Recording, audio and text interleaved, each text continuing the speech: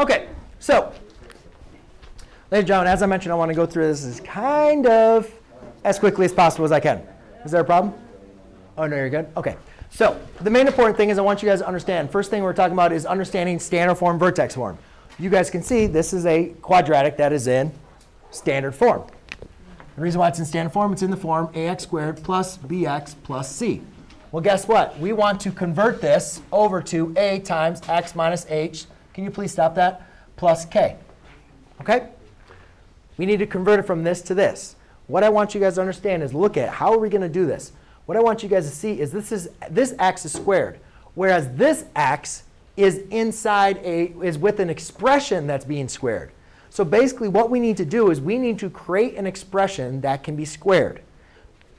Uh, I'm going to move a little bit fast. I'm going to move a little forward with this. So what we need to do is we need to create an expression that we can factor down to something being squared. If you guys remember when we were factoring binomial squared, or trinomials, perfect square trinomials, perfect square trinomials factor to binomial squareds. I'll explain it here in just a second. So first step that you guys are going to do, first step is you're going to group your quadratic and linear terms.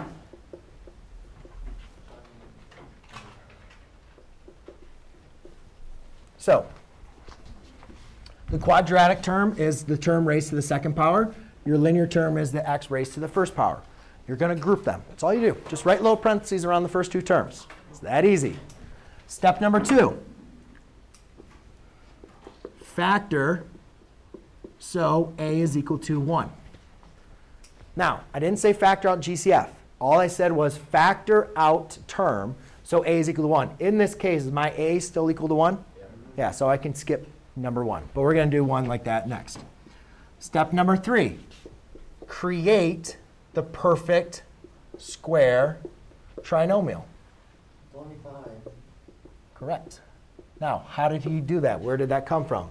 That comes from b divided by 2 squared.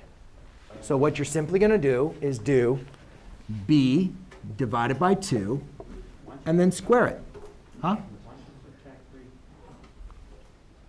What, to the other side? because we're not trying to solve it in this case. Oh, we're, just we're just trying to rewrite it into this form. So I want that 3 is going to be a part of my k. So I'm going to leave it there. Okay. So now I have 10 divided by 2 and square it. Please follow the order of operations. 10 divided by 2 is 5. 5 squared is 25.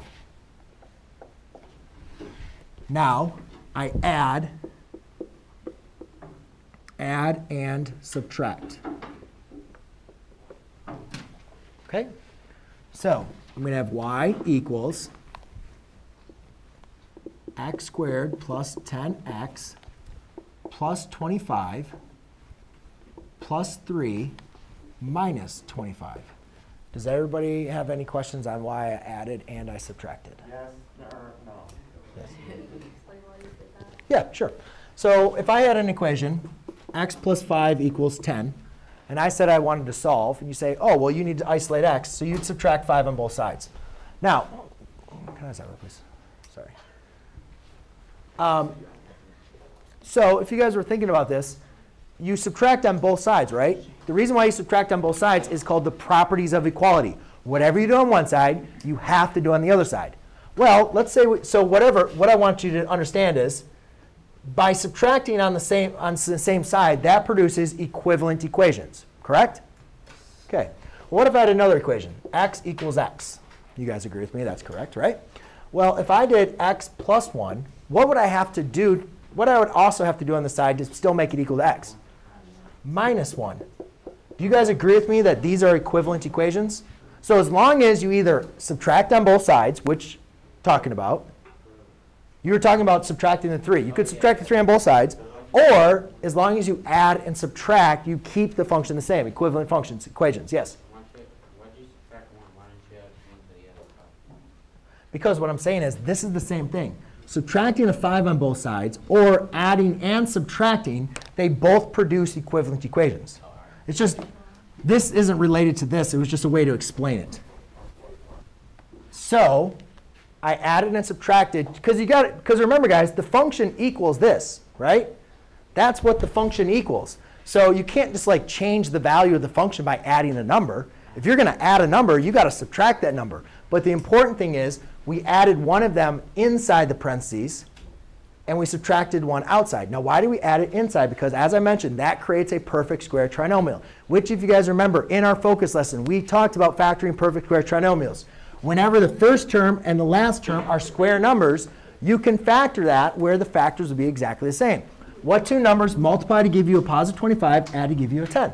5. So it's x plus 5 times x plus 5, or y equals x plus 5 squared minus 22.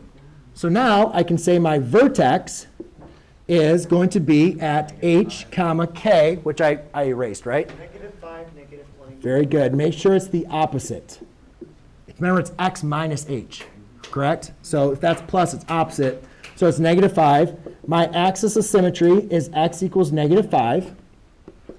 My domain, in this case, all domains for all quadratics are always going to be All real numbers. all real numbers. Now my range, Is from if you guys look at this graph, my range goes from 0 to infinity. But now what has happened? My vertex has now moved this graph 5 units to the left because the vertex was at 0, 0. Now the vertex has been moved 5 units to the left and down 22. So what's the lowest that the graph goes down to now? Negative 22. So the range is now negative 22, comma, infinity. Okay? And that's basically the hardest part that you guys will have to do.